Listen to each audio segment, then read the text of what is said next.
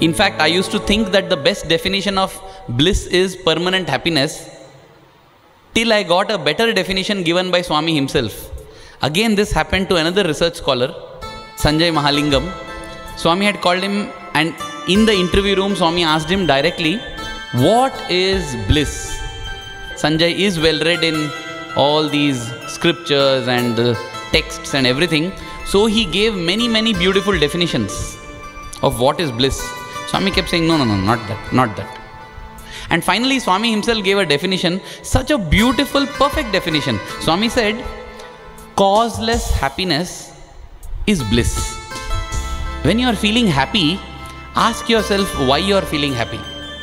Why am I feeling happy? I'm feeling happy because tomorrow I'm going to go on a vacation to the Himalayas. That is not bliss because it has a cause. Why are you happy? I don't know, I'm just happy. That is bliss. Causeless happiness is bliss. And that comes only in union with God.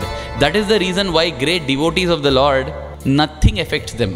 Whatever be the difficulties in their life, they are there as examples to show that let anything happen, bring it on. You can't take away. Kharch na khoote, chor na loote. That's what Mirabai said.